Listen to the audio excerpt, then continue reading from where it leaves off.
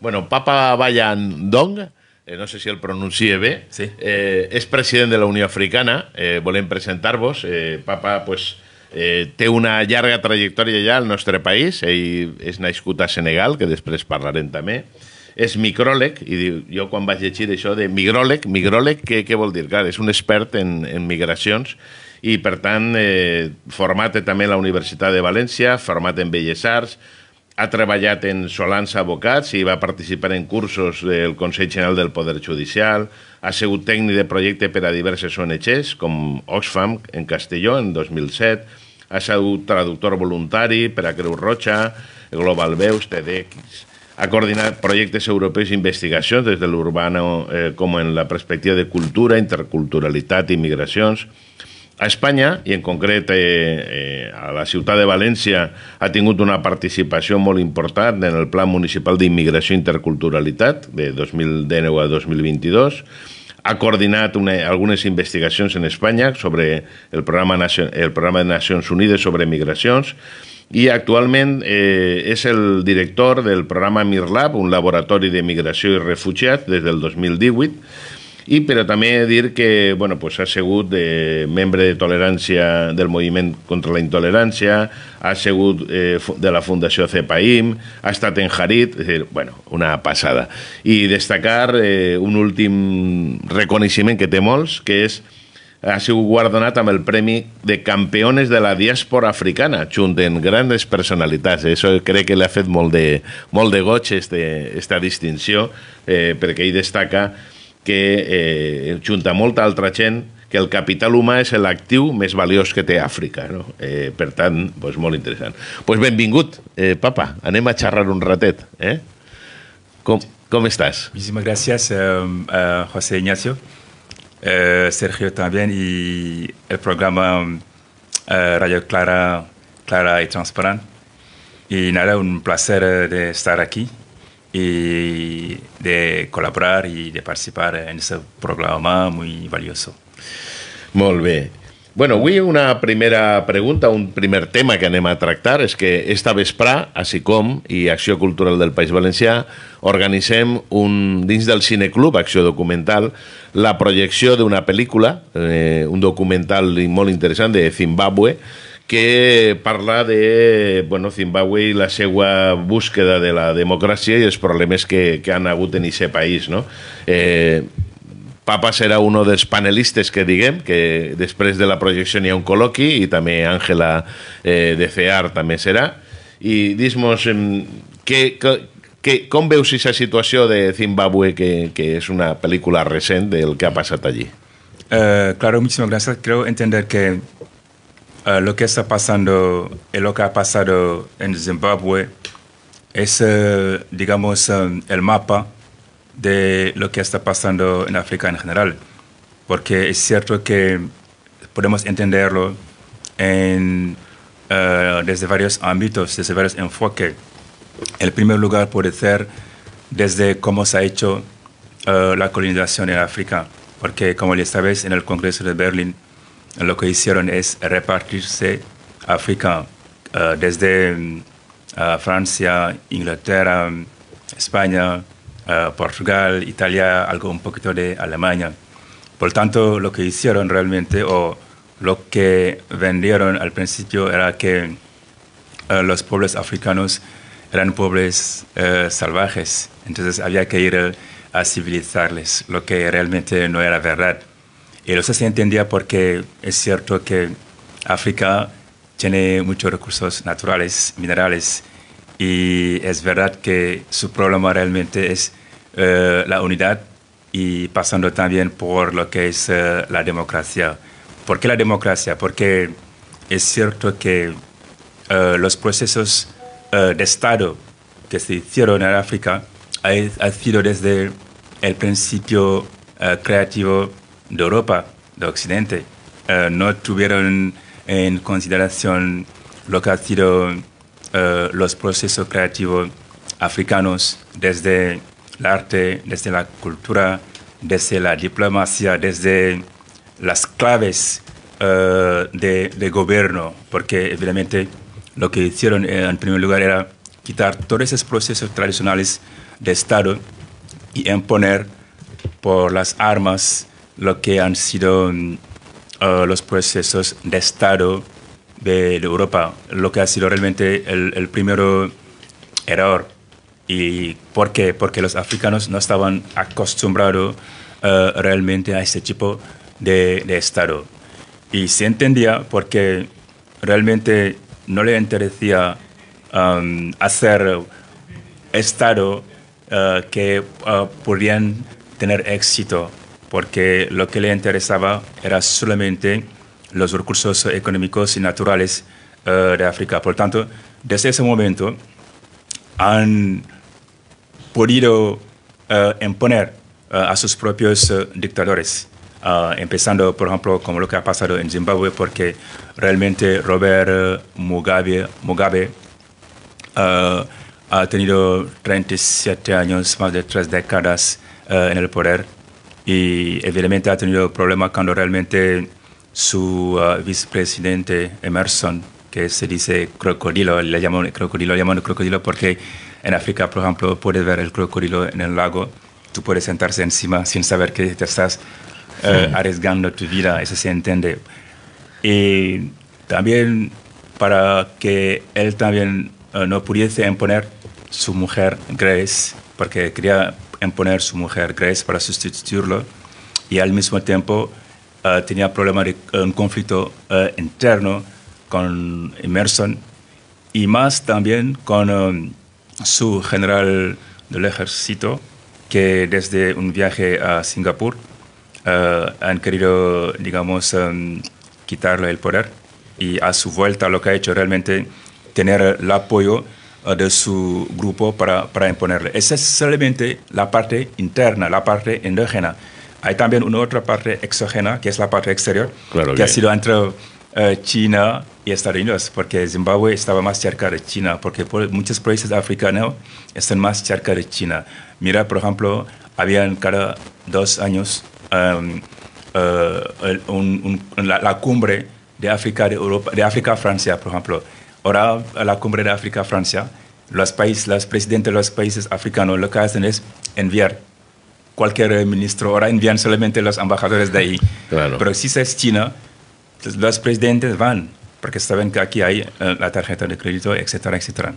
Por tanto, eso es haciendo que todos esos países han sido fallidos desde el concepto de Estado desde el concepto de gobierno. O sigui, que la, la, la geopolítica ha canviat molt, és dir, des de Berlín sí. al repart que havia fet el món occidental, mm. l'aparició de nous eh, agents com és Xina, mm. i al final esteu fotuts eh, igual eh, o pitjor, no? Perquè, perquè no.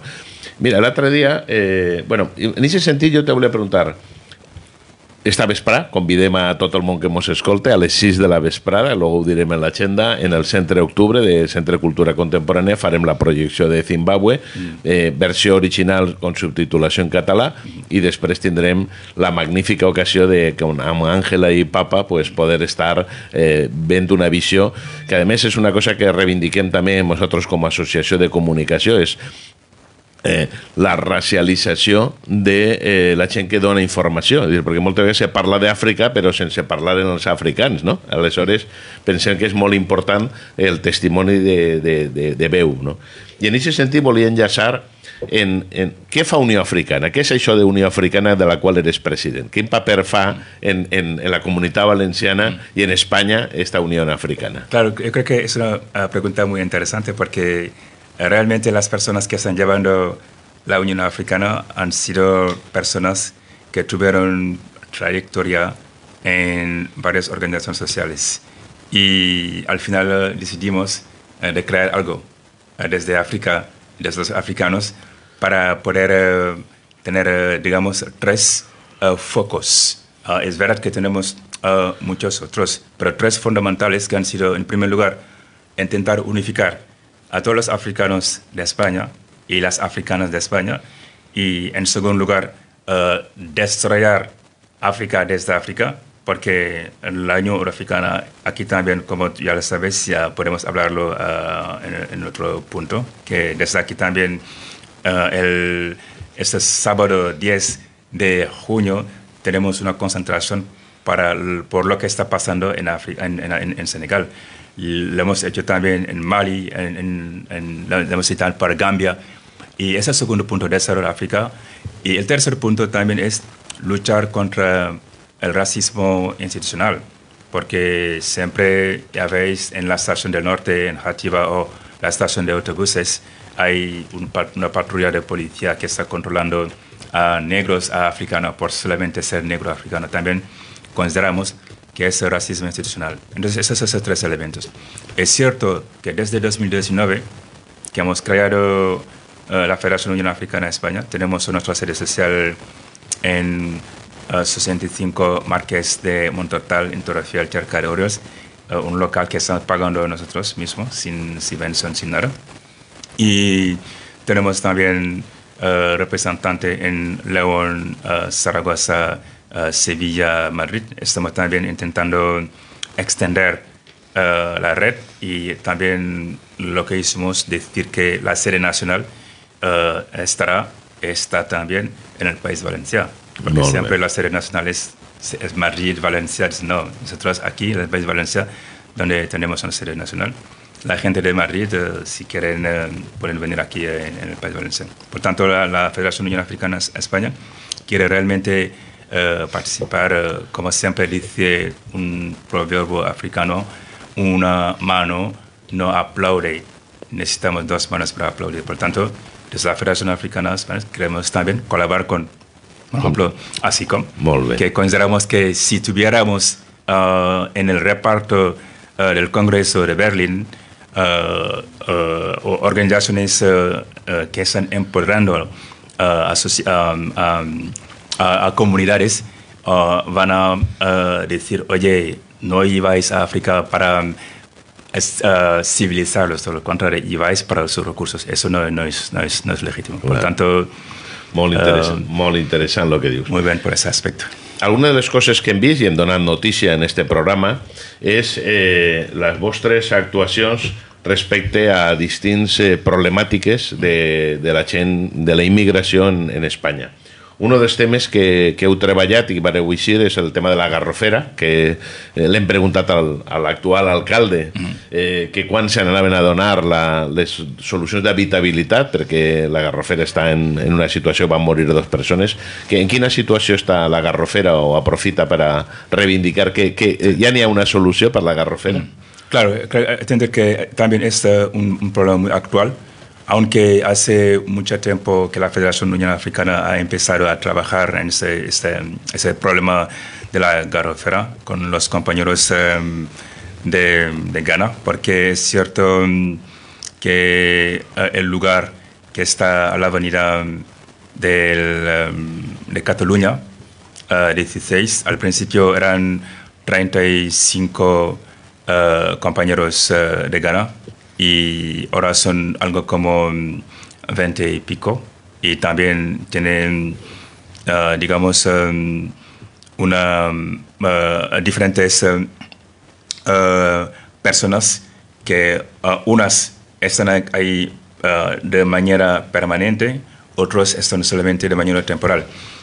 Es cierto, murieron tres aquí en España, hay otro también murieron dos aquí en España. La, tercera persona ha ido a, morir a Ghana y hay una cuarta que pensamos también que está en una situación muy, muy, muy delicada y le puede pasar cualquier cosa. A partir del incendio que se va a producir allí, ¿no? Va a ser un incendio. Sí, efectivamente. Pero ahora podemos entender que también, eh, eh, quiero decirlo, porque uh, Isabel Lozano, hmm. hay que reconocerlo también, ha hecho un trabajo brutal, importante. Eh, es verdad que durante su mandato la Federación Unión Africana de España ha tenido, digamos, un conflicto político con la Consejería de Bienestar Social, pero hicieron un trabajo porque solamente eh, hace dos días, efectivamente, uh, dieron dos pisos uh, sociales a seis integrantes de, de la garrafera y políticas importantes. También están con leva, leva de la Generalitat Valenciana, y para tener un, un, tercero, un tercer piso. Lo único también su preocupación, efectivamente, como la preocupación que tenemos también de la Federación Unión Africana España, es, por ejemplo, si realmente um, el gobierno actual va a seguir uh, uh, todo, todo el trabajo importante que um, hizo uh, Isabel Lozano y si no, nosotros también desde la Federación Unión Africana de España, desde los movimientos sociales, saldremos también en la calle para reivindicarlo, porque nosotros, gobierno quien gobierna, no cambia nada en nuestras luchas sociales. Por lo tanto, por la Fera podemos decir que uh, Isabel Lozano ha dado un legado muy importante. Molt bé. Eh, creiem que és molt important aquesta visió que són persones temporeres que venen a fer el treball, que moltes vegades no, no, no fan ni mà d'obra i, i no poden viure en unes condicions infrahumanes com, com les de viure en, en un solar, en una fàbrica abandonada que està caiguent-se. No?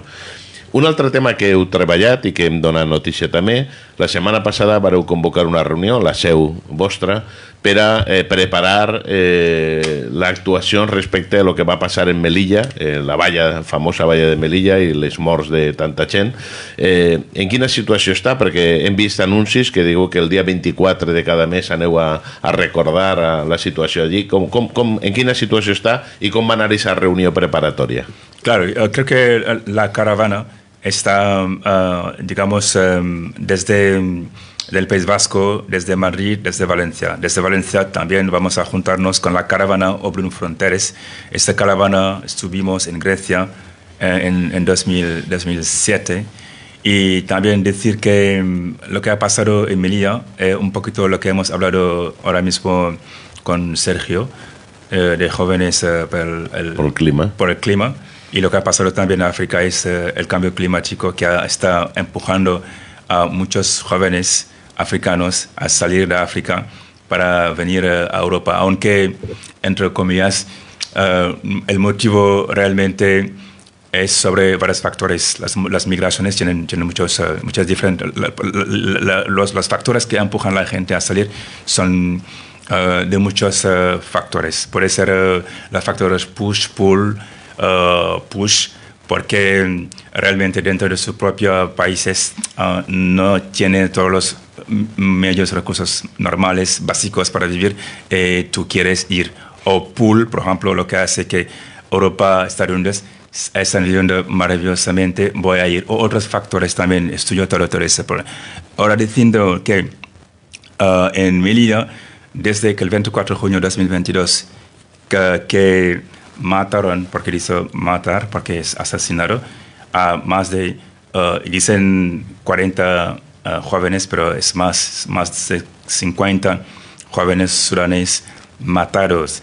Esas, uh, esos inmigrantes jóvenes, hay muchos hasta ahora no han sido identificados y no hicieron tampoco nada para indemnizar a sus familiares. Y hay otra cosa más importante, hay muchos de ellos que están en las cárceles de Marruecos. Nosotros hemos dicho muchas veces de excarcelar a esos jóvenes, porque hay unos que también han sido uh, multados de 10 mil uh.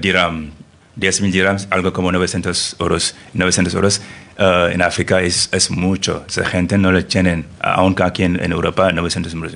En eso, cada 24 de mes hacíamos y seguimos haciendo uh, estos recuerdos para explicar uh, a los motivos y buscar la excarcelación de esos africanos que todavía están en las cárceles de Marruecos. Por tanto, hay dos, uno que va a participar a, a Melilla, a la caravana de Melilla, también un otro grupo va a estar aquí y para organizar uh, el 24 de junio en el puerto y organizaremos también uh, una concentración sobre la situación de, de, Melilla. Sí, molt bé. Vosaltres, a més, eh, situeu com a la primera massacre, la, la, la, el primer aniversari de la massacre de Melilla, no? Con lo sí. qual, pues, donarem notícia quan tingueu organitzat això d'aquest tema. I per acabar, perquè el temps en la ràdio mos menja, eh, hem parlat per damunt de la situació de Senegal, és el teu país d'origen.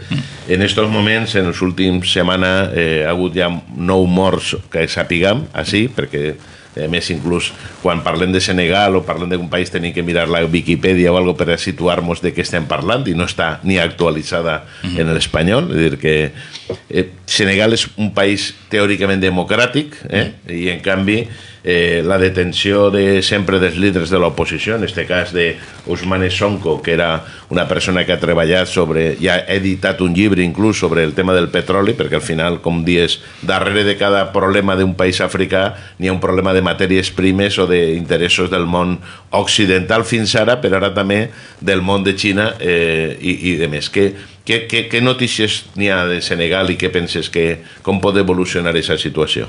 Claro, yo, creo que eh, es un poquito uh, lo que hemos dicho desde el principio, que ha sido a veces uh, el, um, la, dualidad, porque lo que está pasando en Zimbabue es lo mismo que está pasando también en Senegal, porque Zimbabue que está pasando, porque Zimbabue, su subsuelo tiene mucha riqueza y ahora hay también este viento de cambio y lo que ha pasado también en, en, en Tunisia, um, en, en, varios países de África. Ahora, lo que ha pasado concretamente en Senegal se entiende porque es cierto que Senegal también ahora uh, han uh, descubierto uh, petróleo, gas y, piedras. Piedras preciosas, sí. Piedras preciosas.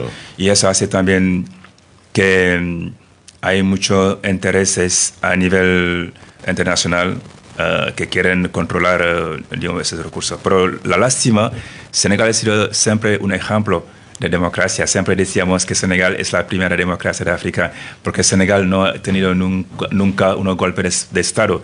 En Zimbabue tuvieron un golpe de Estado pequeñito, suave, pero Senegal no ha tenido nunca golpe de Estado. Senegal ha sido uh, ganar las elecciones por las urnas. Ahora es verdad que el presidente Uh, es una lástima también porque ya tiene dos mandatos. Para un tercer mandato uh, el país está ya um, uh, quemado porque dicen tenemos más de 20 muertos, dicen 20 muertos en, en, Senegal. Y el problema um, es que el, opositor principal, Usman Sonko, tú lo has dicho, ahora um, dicen que le van a condenar dos años eh, porque están empujando la juventud a salir a la calle. no es el problema. El problema es que la juventud ve que no tiene uh, ningún futuro y no tiene ningún apoyo. Uh, entonces el problema realmente no es que él está empujando la, la, juventud, todo lo contrario, es la juventud que quiere este cambio, que quiere este... este es, es, es, es, um, ahora mismo estamos hablando, pero seguramente desde este Senegal, um, si no fuese que hace tres días que el gobierno ha, digamos, uh, parado y bloqueado todo WhatsApp y Internet. La había bloqueado. yo, por ejemplo, durante tres días no he podido hablar con mi madre mi madre hablaba con ella todos los días. Vaya. Y hablaba con ella, todo, ella, Además, también ella tiene mucha información, más, mucha más información, que como ella tiene 83 años y tiene siempre su radio, porque la televisión no radio, porque ella efectivamente, con la radio efectivamente, se tiene más información que la tele, porque la tele ya eh, te, te, distrae, pero la radio tienes una información de calidad. Entonces, es una lástima realmente de llegar a, a quemar el país para um, unos intereses que no son realmente africanos, y eh, particularmente no son realmente senegaleses. pues apleguem així al final. Papa, moltíssimes gràcies per vindre. Sí. No sé si vols enviar alguna salutació mm. o alguna mm. qüestió i esta vesprà eh, convidem a tot el món a, a participar en el debat i en el col·loqui i gaudir d'una pel·lícula mm. feta pues, sobre Zimbabue que, mm. que com estem dient, pues, bueno, té unes similituds mm. eh, totes, no? Sí, solamente invitar uh, a todo el mundo también el día 10, sábado, a las 6 en la Plaza del Ayuntamiento. A las 6, Plaza del Ayuntamiento. Sí, haremos una concentración. Y el 24 de junio, y también para finalizar, invitarlos a, a la charla al coloquio de esta tarde en el Centro Cultural 9 de Octubre. Creo que va a ser interesante. Eh, tendremos más tiempo uh, para hablar sobre la situación de, la, de, África. Creo que entender que es muy importante porque desde el COVID-19 sabemos realmente que el mundo está muy, muy interconectado. No sí. se puede hablar de España sin África, no se puede hablar de África sin España. Efectivamente. Pues muchas gracias. Gracias. Uh, muchas gracias. Gracias, Sergio. Gracias.